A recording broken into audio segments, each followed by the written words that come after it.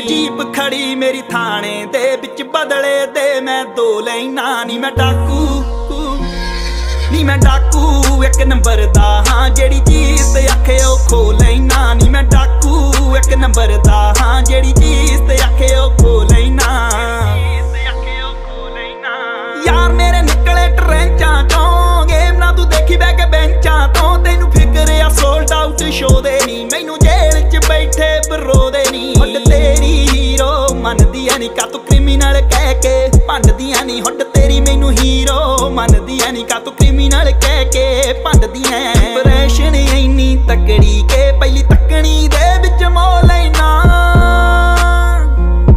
ਨੀ ਮੈਂ ਡਾਕੂ, ਨੀ ਮੈਂ ਡਾਕੂ, ਇੱਕ ਨੰਬਰ ਦਾ, ਹਾਂ, ਜਿਹੜੀ ਚੀਜ਼ ਤੇ ਅੱਖੇ ਉਹ ਖੋ ਲੈਣਾ। ਨੀ ਮੈਂ ਡਾਕੂ, ਇੱਕ ਨੰਬਰ ਦਾ।